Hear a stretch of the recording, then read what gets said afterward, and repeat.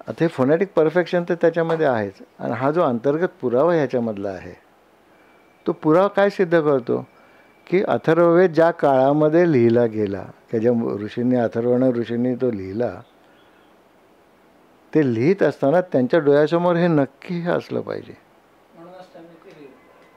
त्याचं वर्णन नाही तर तशा पद्धतीचं आलंच नसतं त्या ठिकाणी. तर हे सगळे त्याची वैशिष्ट्य सगळी आहे त्याच्या मागची एवढी मोठी ट्रॅडिशन आहे. तर या ट्रॅडिशन्स आपल्याला मोडायला आपल्याला काय अधिकार आहे? दुसरा एक मी विचार असा करतो. मला काय अधिकार आहे? जे परिपूर्ण आहे ते अजून वाढवलं पाहिजे. जर तुम्हाला अशी गरज वाटली ती त्या काळामध्ये त्या लोकांना तशी गरज वाटली नाही तशी गरज मला आज वाटते आहे. निर्णय लिप्यांवरती काम करताना असं लक्षात आलं की ज्यावेळेला आम्ही थाईवरती काम करत होतो ते जर्मन कंपनीचं डिझाईनचं एक आमच्याकडे होतं. त्याला कुठे आपल्या भाषा मला कुठली येत नाही. पण लिपी काय आहे ती समजली. त्याला चिन्ह कुठली लागतात हे समजले. तर कंपोजिंग आणि प्रिंटिंगच्या दृष्टीने आपल्याला नेमकेपणाने काय करायला लागेल हे कळतं. तर त्यावेळेला थाईचं ज्यावेळेला हे आलं तर त्यावेळेला असं लक्षात आलं की त्याच्यामध्ये इंटोनेशन हा जो प्रकार आहे मी बोलताना एक प्रकारचा चढउतार होतो. आरोह आरोह अवरोहासारखं ते बोलतात. तर. ते उदाहरण असं का? का? का?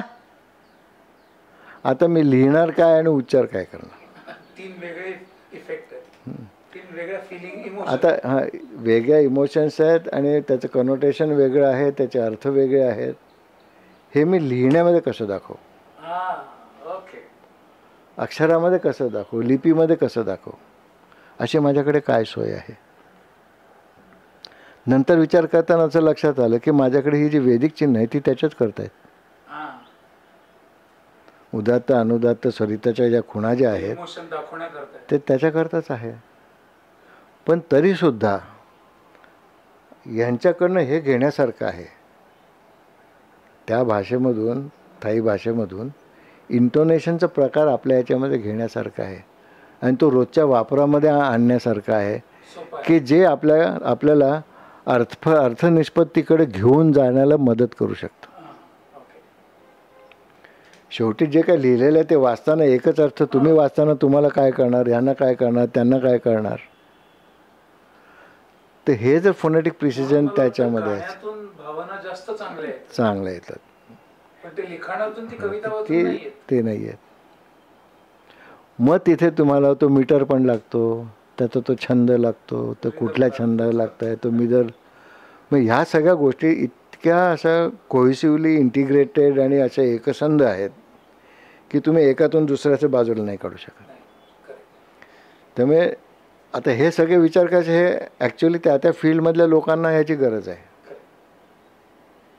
ॲज अ डिझायनर मला ते प्रोव्हाइड केलं पाहिजे. मला तो कुठलाही विषय कळत नाही. पण थोडं थोडं बघून निर्णय हस्तलिखित बघून मॅन्युस्क्रिप्ट बघून त्याच्यावरतून अंदाज बांधत असं पद कारण त्याच्याकरता असं फुल डॉक्युमेंटेशन असं कुठलं नाही पण आता हे एक निमित्त झालं. या निमित्ताने जे फॉन्ट आता मी केलेत जेवढे वादविवाद आत्तापर्यंत आहेत खूप लाव लोकांनी त्याच्यावरती वाद घातले सिम्प्लिसिटी केली पाहिजे अमुक केलं पाहिजे. त्याचं उदाहरण म्हणजे एक डिस्ट्रक्शनचं पाठ्यपुस्तक मंडळ आहे. त्यांच्या इथे पण रिसर्च करतात म्हणे. नाही नाही तसं नाही. नाही तिथे काहीतरी रिसर्च करतात. आता कशाचा रिसर्च करतात काय करतात त्याच्यावरती आपल्याला विचार नाही कर ते मुलांना सोपं करून सांगितलं पाहिजे. म्हणजे सोपीकरण किती लिमिटपर्यंत करायचं हा पण एक भाग आहे. आता ही मुलं ज्या सोप्याकरणातून वरती पुढे येतात आणि कॉलेजमध्ये जातात त्यावेळेला काय परिस्थिती होते? काही मुलं निघतात त्यांना आर्ट्सला जायचं असतं त्यांना मराठी हा विषय घेऊन त्यांना हे करायचं असतं एम ए करायचं असतं पी एच डी करायचं असतं संस्कृत कोणाला घ्यायचं असतं. पण मूळ पाया ह्याने जो म भुसभुशीत करून ठेवलेला आहे त्यांना अक्षर ओळखच नाही आहे अशी परिस्थिती येते. पुण्या पुण्यामध्ये इथे काही वर्षापूर्वी इथे सेमिनार झाला तर मराठीचं भवितव्य. सगळ्यांना खूप मोठी काळजी लागलेली होती. आणि त्याच्यामध्ये ते कौतिकराव ठाले पाटील त्या तर महामंडळाचे अध्यक्ष होते मध्ये. त्यांचं भाषणामधलं पहिलं वाक्य की मी ते ऐकलेलं आहे. त्याचं पुस्तक पण पब्लिश केलेलं आहे पुणे युनिव्हर्सिटीने म मराठीचं भविष्य म्हणून. ते आहे माझ्याकडे. ते भाषणातलं पहिलं वाक्य असं होतं की अहो म्हणे काय आहे? मराठीची फार भातात चाललेली आहे. आता ही मुलं एम एला माझ्याकडे येतात. तर ह्यांना मी अंकलिपी शिकवायची का? अक्षर ओळख मी शिकवायची का? हा त्यांचा प्रश्न होता. यांना का प्रश्न पडला असा? म्हणजे कुठेतरी तुमच्या एज्युकेशन सिस्टीममध्ये तुम्ही हे शिकवलेलं नाही असंच सिद्ध होतं. शिकवा त्यांना अवेअर करा कान तयार करा. आणि अक्षर आणि ध्वनी यांची जी सांगड आहे ती जर तुम्ही एस्टॅब्लिश सुरुवातीच्या पिरियडपासून जर केली तर पुढे प्रॉब्लेम कमी कमी होत जातात. समज वाढेल ना त्यांचं. त्यामुळे अक्षर साधर्म्यावरनं शिकवू नये. म्हणजे गम भन आता ते पूर्वी ते एकोणीसशे सालामध्ये त्यावेळेला साने हातवळणे आणि गोडबोले यांनी एक पुस्तक लिहिलं मरा मरा मराठीची लेखन पद्धती असं एक पुस्तक आहे. आता याला एकशे पंधरा वर्ष झाली त्या पुस्तकाला. पण त्यावेळेला जे लिहिलं त्यांनी ते एका वेगळ्या संदर्भाने मला ते पुस्तक हवं होतं. त्याच्यामध्ये त्यांनी असं मागे असा वाद एक होता त्यावेळेला. तर वाकणकरांकडनं मला तर ऐकायला मिळालं होतं पण नंतर मग त्याचा शोध घ्यायचं त्यावेळेला राहून गेलं. पण ते या निमित्ताने मी मध्यंतरी जरा त्याच्यामागे लागलो आहे तर मिळालं तर मला पाहिजे ते. ती गमभन पद्धतीने शिकवायचं. म्हणजे अक्षरामधला ग काढला. हं. त्याला हां त्याला आडवी रेख दिली की त्याचा म होतो गा गाठीला.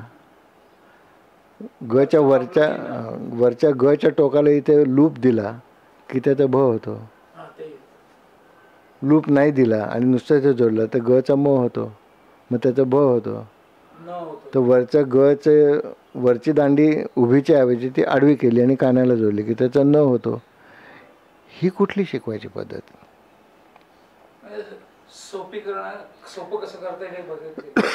पण त्याला सांगितलं की हा ग.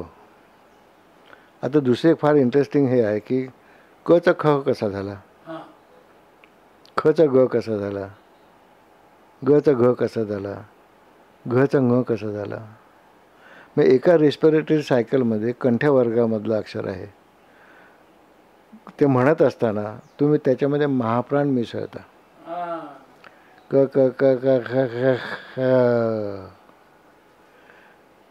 ते खचा ग होताना तो महाप्राण परत मिसळला जातो मी तो श्वास त्याच्यामध्ये मिसळला जातो ख ख ख ख ख ख ग ग ग ग ग ग ग ग ग ग तर त्यावेळेला त्या श्वासामधलं तोंडातून आणि नाकातून श्वास सगळा बाहेर जातो. म्हणून तर नेझल सगळ्यात शेवटी येतो. असं कचट येतं पयमध्ये च मध्ये छ झाला म्हणजे च मध्ये महाप्राण ॲड झाला म्हणून छ झाला. छचा झ झाला. झ झ. तर ही जी पद्धत आहे या पद्धतीने जर शिकवलं तुम्ही तर हे जास्त लक्षात ठेवण्यासारखं आणि हे लॉजिकल आहे. तर हे न शिकवता गमवाना कशाला शिकवायचं असं डोक्यात येत. तर ह्याला एक डेफिनेट त्याची बॅकग्राऊंड आहे. ती बॅकग्राऊंड तुम्ही त्याची डिस्ट्रॉय करू नका. त्याचं फाउंडेशन जे आहे ते डिस्ट्रॉय करू नका. ते मेंटेन करा. तर याचा फायदा होतो पुढच्या काळामध्ये. आता अनेक ठिकाणी लोक म्हणताना म्हणून जातात. नासामध्ये संस्कृतवरती काम चालू आहे. चालू आहे. नाही चालू आहे.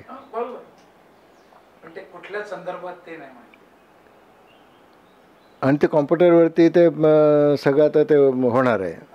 म्हणजे कसं म्हणजे असं ही वेग टर्म त्याच्यामध्ये आहे जी. त्याचं सिंपल लॉजिक असं आहे. हे सगळं कॉम्प्युटरवरती बसवणं हे करणं हे काय आहे? कॉम्प्युटरला लॉजिक कळतं. आणि कॉम्प्युटरला यशनोची गेट्स फक्त माहिती आहेत. बाकी त्याला काही कळत नाही. तो माठ आहे. पण त्याच्या डोक्यात जे भरवायचं आहे ते जर लॉजिकल असेल तर त्याचा उपयोग. आणि त्या प्रकारचं फोनॅटिक्स आणि ग्राफिक्स ह्याची जी रिलेशनशिप आहे ती रिलेशनशिप देवनागरीमध्ये परिपूर्ण आहे. लिपी म्हणून. आणि संस्कृत भाषा अशी आहे की जी स्ट्रक्चर्ड आहे आणि कॉम्प्युटरला स्ट्रक्चर्ड लँग्वेज पाहिजे. त्यामुळे हे शक्य आहे. त्याचं खरं अर्थ त्याचा हा आहे. त्यांचे प्रयत्न असे चालू आहेत की ते वरती गेल्यानंतर मी ध्वनी नाहीसा होत नाही. ध्वनी राहतोय. वातावरणामध्ये ध्वनी तसाच शिल्लक राहतो. मग तो कॅप्चर करता आलं पाहिजे.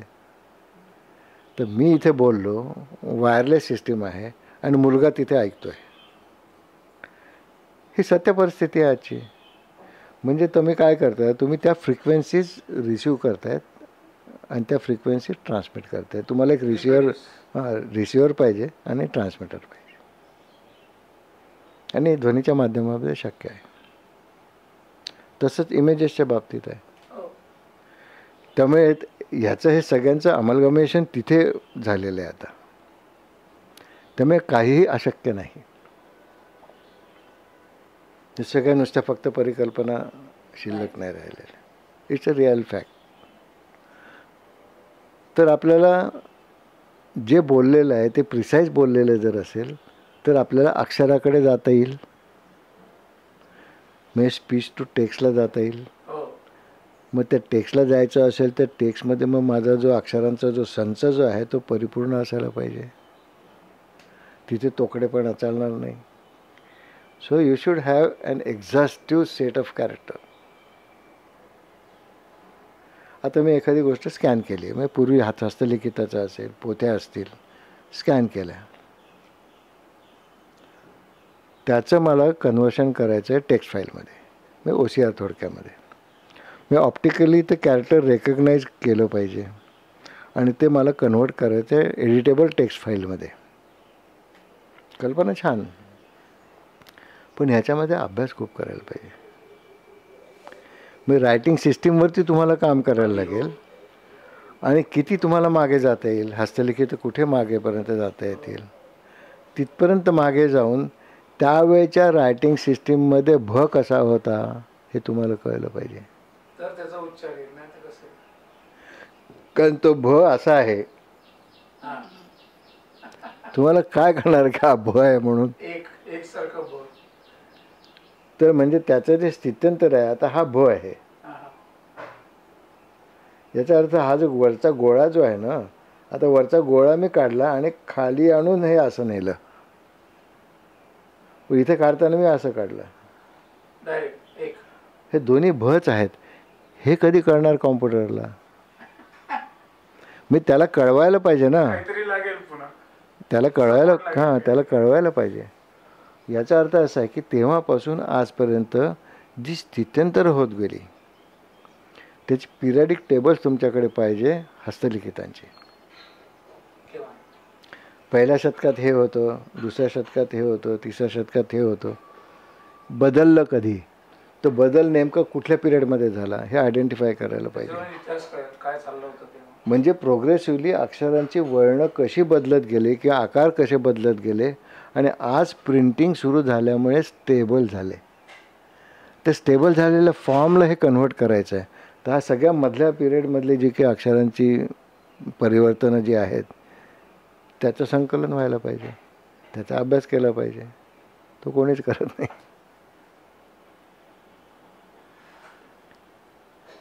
तर विचार खूप चांगले आहेत. आजूबाजूचं एन्व्हायरमेंट करण्यासारखं आहे. पण ह्याच्याकरता पहिल्यांदा बेसिक काम करायला पाहिजे. आता हे सगळे मधले जे फॉर्म्स आहेत हे फॉर्म्स मग तुमच्या फॉन्टमध्ये पण पाहिजे ना? हो ना. मी माझ्या फॉन्टमध्ये मी हा भ ठेवलेला आहे. मी अचा आता आपण अ असा काढतो सरळ हो. आता अचा असं तीन तांगड्या असलेला पण अ आहे. हो. नाही नाही. आता हा फॉर्म कुठून आला? आणि हा अचा फॉर्म आपण जो काढतो तो कुठून आला? हा आता तीन रेगा असलेला जो अ जो आहे हा ट्रॅडिशनल पहिल्यापासून चालत आलेला आहे. तो कुटील लिपीमधला आहे. त्यामुळे तो अ आणि हा अ हा तीन तांगड्याचा अ नॉर्थमध्ये कलकत्ता त्या भागामध्ये तुम्हाला तो सापडतो. मग तिकडल्या ज्या हस्तलिखित म्हणजे जॉग्राफिक लोकेशनचा कसा परिणाम होतो? की तिथे लिहिलेले जी अक्षरं जी आहेत ती कशी आहेत? आता मैत्रिणी संहिता घेतली तर त्या मैत्रिणी संहितेमध्ये ते अक्षर कसं आहे? तो अ तसाच आहे तीन रेगा असलेला. पण ती पोथी कुठे आहे? काश्मीरमधली आहे. मग काश्मीरमध्ये रायटिंग सिस्टीम कशी होती? बंगालमध्ये का रायटिंग सिस्टीम कशी होती? मधल्या हिमाचल प्रदेशच्या त्या मधल्या भागांमध्ये ती रायटिंग सिस्टीम कशी होती? तिथून खाली येताना ते कशी कशी बदलत गेली? पॅलिग्राफिक रेफरन्सेस मिळतात. मग दगडावरती कोरलेलं काम. इतिहासकार त्याला जास्त बांधतात दिसतंय. आता ब्राह्मीचं आयडेंटिफिकेशन केलं ब्राह्मीपासून मग ते कसं डिसेंड होत साऊथमध्ये गेलं आहे वगैरे असं ते सगळं आता सगळं मटेरियल अवेलेबल आहे त्याचा अभ्यास करता येतो. पण त्या ब्राह्मीच्या आधी माहेश्वरी लिपी होती. आणि ती क्रिसेंटल लॉजिकमधली होती. ही देवनागरी चित्रलिपी नव्हे. भारतीय कुठल्याही भाषा चित्रलिप्या नाहीत. प्लॅन डिझाईन फॉर्म्स आहेत. त्याचं प्लॅनिंग आहे. ते काय केलं आहे त्या म्हणजे कन्सेप्ट कसा केलेला आहे जे कोण डि इंज आणि ती इंजिनिटी आहे त्या डिझायनर्सची. विचार करणाऱ्यांची. की अखंड मंडळाकारम व्याप्तम येणं चराचरम मग ते अखंड मंडळ हे सगळं विश्वाला व्यापलेलं आहे अशी एक कल्पना आहे जे पूर्ण रूप आहे. मग त्याचं द्विभाजन केलं हॉरिझॉन्टली. मग ते काय केलं त्याने याचं पूर्ण स्वरूप होतं. तर मध्ये अशी आडवी रेख करून वरचा भाग केला आणि खालचा भाग म्हणजे दोन अर्धवर्तुळ आपल्याला मिळाले. तर वरचा जो अर्धवर्तुळाचा जो भाग जो आहे ते कचं रूप आहे. आणि खालचा जो भाग आहे तो पचं रूप आहे. आणि त्याला स्वरदंड लागलेला आहे. पला स्वरदंड लागलेला आहे. मग त्या क पासून प कपय सूत्र जे आहे कचट पय तर हे क्रिसेंटल लॉजिक आहे. आता कचा ख झाला म्हणजे महाप्राण झाला तर हे क्लॉकवाईज आणि अँटी क्लॉकवाईज असे दोन क्रिसेंट आहेत. आणि त्याला दंड लागलेला आहे. म्हणजे तुम्हाला हा कचा भाग आणि हा अँटी क्लॉकवाईजचा खचा भाग त्याला दंड लागले आहे. म्हणून तो ख असा आहे. तुम्हाला अशोकन ब्राह्मीमध्ये काय प्लससारखं चिन्ह म्हणजे क आहे. मग काही ठिकाणी तुम्हाला ते वरती थोडी अशी कर दिसते आणि त्याला दंड दिसतो. तो पण कच आहे. आता ही स्थित्यंतर होत जातात. पण आधी जी ब्राह्मी जी आहे ते ब्राह्मीमध्ये हा कर्वच आहे. म्हणजे ते इंटरेस्टिंगली काही काही गोष्टी आहेत याच्यामध्ये. की तुम्ही आता क आपण सगळ्याच भाषांमधला बघितलं लँग्वेजेसमधला